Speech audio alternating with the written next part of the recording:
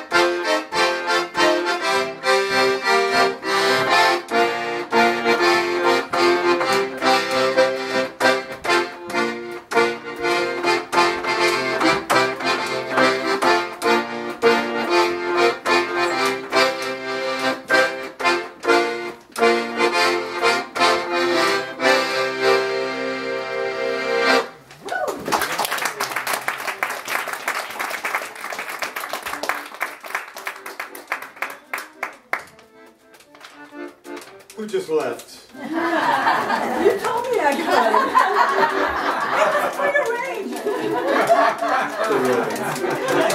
I just didn't see her.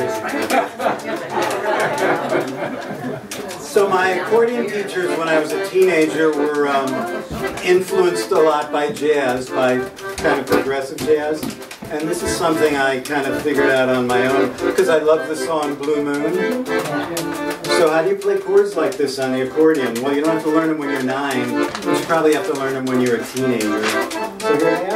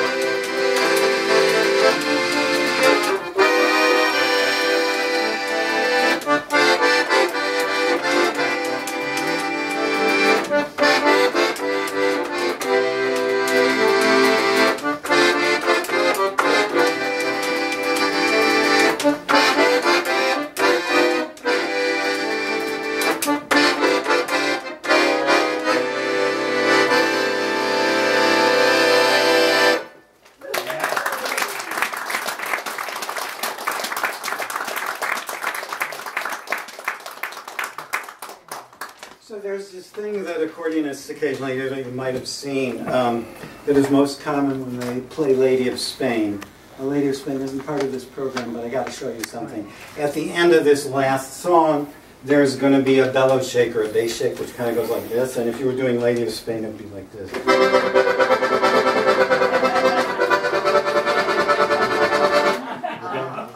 So there's a better one at the end of this song. So listen, listen.